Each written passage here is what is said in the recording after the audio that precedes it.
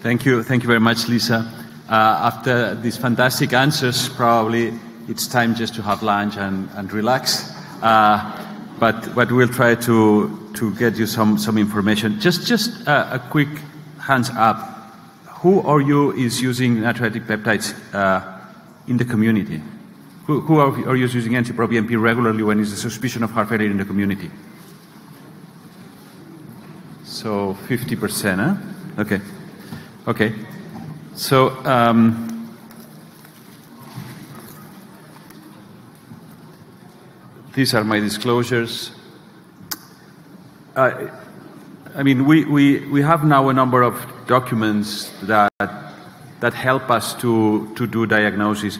And, and diagnosis is crucial because unless we have a diagnosis, we're, not, we're never going to start with the GDMT so in 2021, the first um, universal definition of heart failure uh, put uh, this schematic where uh, when you do have uh, the suspicion of heart failure, you have natriuretic peptides in the center uh, to corroborate it. So um, this was quite clear.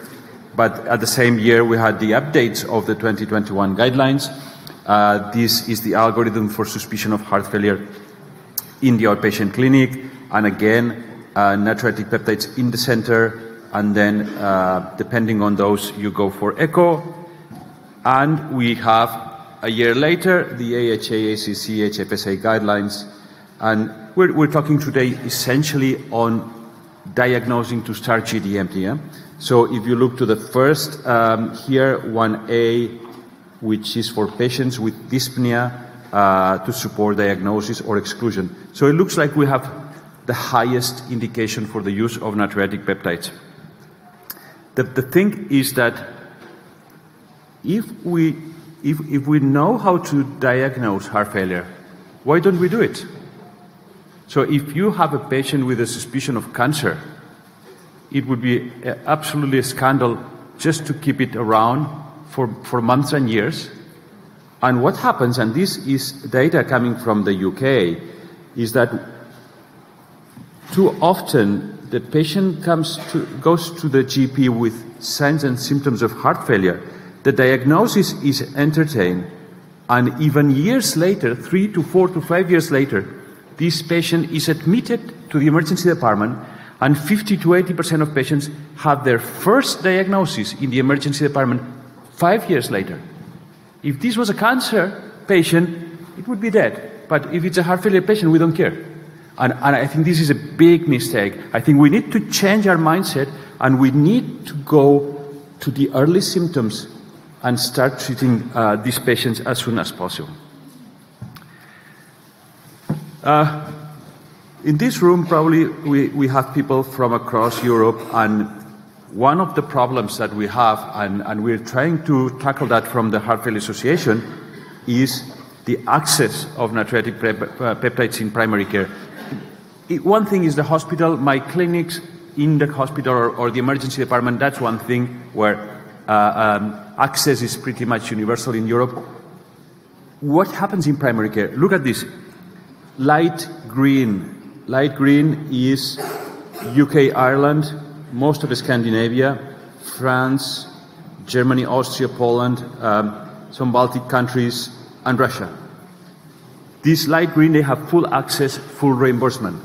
So these countries, you should know that in your community you, you have full reimbursement and access. If you don't use it, it's because you think it may not be necessary, and we have to convince you that it may help you. Other countries, for example, Spain, where I come from, in Catalonia we have access and reimbursement, but this is not the case for other uh, regions of, of, Spain. In Italy, they have uh, partial reimbursement. But if you look to um, Western Balkans, Greece, uh, Eastern Europe countries, Turkey, I mean, there is a lot of um, inequity in diagnosis across Europe, and these are things that we have to change uh, to, to improve patient care. So uh, the first thing we need to do when we have the suspicion is to, do, to put a name. We need to do a diagnosis. So remember this find HF.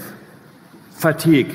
In the, in the primary care setting, in the community, the first time a patient comes with signs and symptoms of heart failure, it's, it's not often the patient coming with overt congestion and pulmonary edema. No, this is the patient that goes to the emergency, uh, goes to the clinic or, or the GP with fatigue.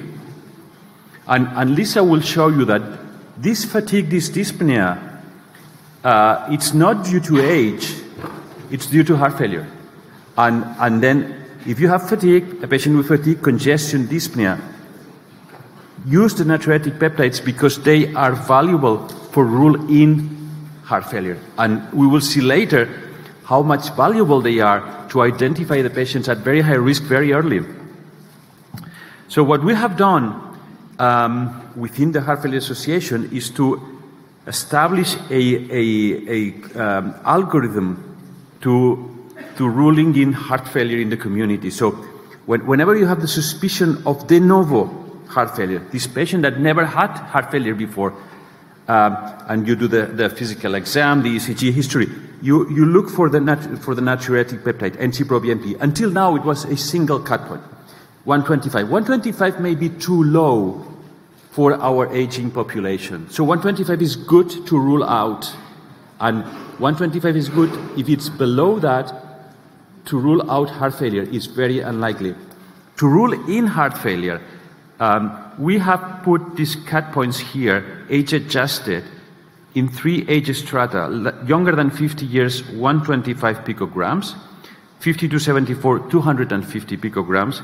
More than 75 years, 500 picograms. These age, these cut points, where do they come from? These are the 95 percentile from Generation Scotland cohort. So the Scots are probably not Europeans, but they are close to Europe, and, and, and we can use them as a reference for us. This certainly will, will need to be re, uh, revalidated in, in, in new cohorts. So if any of you wants to validate this in other cohorts, that would be fantastic. But what we suggest from here is, is something that's very simple, that after this, you need to put your patient in a structured pathway. And this is uh, treat as appropriate and treat as appropriate if your patient has heart failure. We will discuss later, but uh, it, it looks like we need to start being more proactive and arrange for an echo. Here in this document, we put six weeks. We were, in a way, mirroring uh, the, the UK NICE guidelines uh, of these six weeks. Lisa, we may discuss later if these six weeks is too late or not too late. What is true is that um, for the high-risk patients over 2,000, um, prioritize echo and evaluation by the heart failure team be, within two weeks. We can discuss that uh, with the data that you will, will show us. Anyway, um, what, I, what I want to, to present to you, what I wanted to, to just bring, uh, bring about today is that 50 to 80% of the diagnoses for the first time of heart failure are done in the emergency department and they should be done earlier with a more stable patient in the, in the, in the primary care setting for many reasons, but one of the reasons is that when the patient comes to the emergency department and is admitted, we know that one in 10 of these patients die. So these patients are arriving to the, to the hospital in a very bad condition, and, and we could have done something before.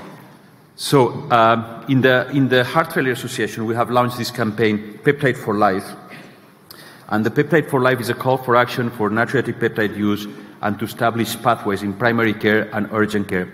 We have discussed this Peptide for Life campaign with the National Heart Failure Societies. So, if you want to push for Peptide for Life in your country, um, the, the, the National Heart Failure Society presidents, they know about this campaign I think this campaign has to be uh, adapted to every healthcare system. We cannot do uh, um, the same structured system across Europe, but there are so many healthcare systems that every healthcare system needs to do it one way or another. So with this, I'm going to stop and I'm, I'm open for questions.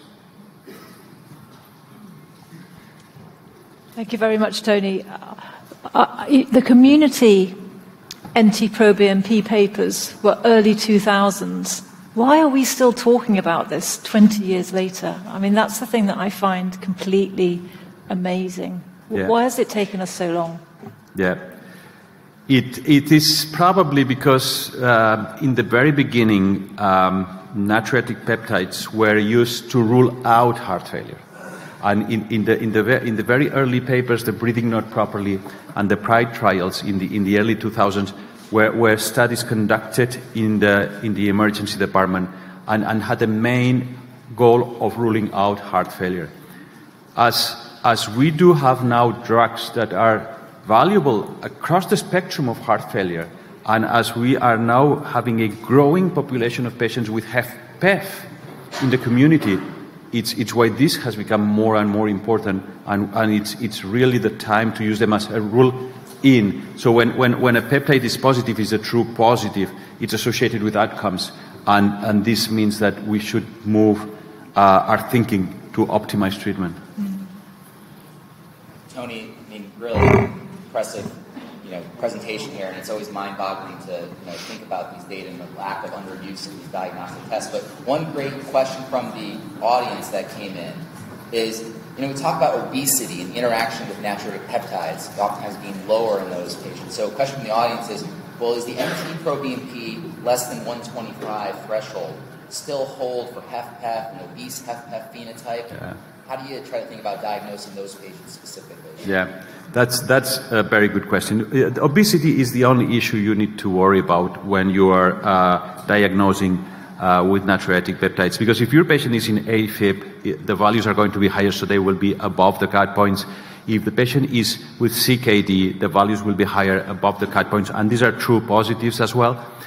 Uh, it is true that in the community, um, in obese and very obese patients, those that, with, uh, that have uh, BMIs of 35 and 40, you should consider lower values for natriuretic peptides. So uh, in, in the patient over 30 BMI, you should reduce the, the uh, NT-proBNP by 25%. Uh, you, consider, you should consider it lower, 25%. 30 to 35 percent, 30 to 35 BMI, you should reduce it by 35 percent. Over 35, over 40 BMI, you reduce you reduce uh, uh, 35 percent. Uh, forget about these percentages. The, the, the, they, they, they, are, they are there in, in the literature. What, what I'm just trying to say is that, yes, yes, there is a group of patients that fall in the gray zone which are the obese path, and these patients still require our attention as clinicians, and we, and we need to do more. So, unfortunately, um, this is not a clean room. There, there, there's a gray zone that we still don't have a, a, an immediate solution for that. But, but, nonetheless, we probably shouldn't get bogged down by the detail. The fact is, without NT-proBNP, we're just never going to detect these cases quickly enough. And that's the, the objective is to get people into a heart failure pathway really, really quickly. So rather than worrying about the minority, I think we should think about the majority. Uh, and the cutoff levels that the ESC heart failure consensus document is really useful if, if you want to look at that. It's got the cut, those cutoff levels for both community and for the hospital, and they've also got all those percentages that Tony was just giving us as well. Yeah, no, I completely agree. I mean, don't get distracted with it being especially challenging with obese HFpEF. I mean, the bottom line is, as Lisa's going to show, there's horrific gaps in what we're doing for diagnostic testing for um, heart failure. And I mean, just when you look at the universal definition, if you just read that verbatim, I mean, how can you actually meet that definition without getting an echocardiogram and natriuretic peptide? It's, it's really impossible. I mean, you need signs and symptoms from structural or functional heart disease. I mean, structural or functional heart disease, how are we going to define that without taking a picture of the heart some way? Um, you could do invasive testing, but the lowest hanging fruit is an echocardiogram. And then you need that corroboration. So you need a natriuretic peptide test as one of the avenues to corroborate. So, I mean, we talk historically about heart failure being a clinical diagnosis where you know, we think we can just do it on physical exam and history and all that. And, you know, again, I think the data, despite our best intentions, is that our physical exam and whatnot is probably not as good as we think it is in a lot of cases. So I think that's why the universal definition is moving to these more objective measures that are, you know, yes, you need the signs and symptoms, but you also need objective testing with echocardiogram and natriuretic peptide testing as like key components here. True. Uh, uh, the, the, the fact that the natriuretic peptides were not uh, performed in many laboratories and they, they were not performed in the point of care manner was also a handicap several years ago. Uh, nowadays, uh, you can have a point of care NT-proBNP in just a few minutes, uh, eight to 10 minutes. You can have that and you can make a decision just within the same visit, which I think that's very convenient for the patient and for the system. And you can see from Tony's slide as well that there was not equity across the whole of Europe, which is why I think we are lucky to have the HFA and this Peptide for Life campaign because it's really important. We're talking about places where we have got access and how we can improve uptake. But actually, it's really important to make sure we get access across all of the countries in Europe as well. So it's now my pleasure to introduce uh, Lisa Anderson again to come here and to explain us what's really happening in, in real